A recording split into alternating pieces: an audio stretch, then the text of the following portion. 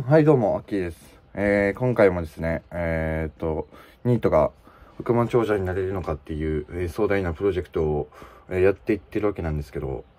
まあ、その、やっていく上で、まあ、皆さんもあると思うんですけど、その、勉強するとき、まあ、読書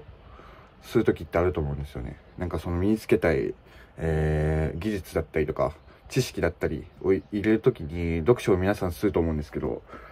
まあ続かないっていう人が多いですよね。大体本を途中で読み終えてしまって、まあ気づいたらもう読まなくなってしまってるっていう人が多いと思うんですけど、やっぱ皆さん勝ったらなんか全部読まないと損だと思ってしまいがちなんですけど、それだとあんまり意味なくて、読むだけだと本当に読書って意味なくて、読んだことをもとに、その、行動に移す。自分の行動を変えていくっていうことが大事になるので、例えばまあ、一章を読んで、一章の第一節だけを読んで、そこを、なんか愚直に試すというか、生活に取り入れていくことが、あの、大事かなって思って、まあ、例えば健康の、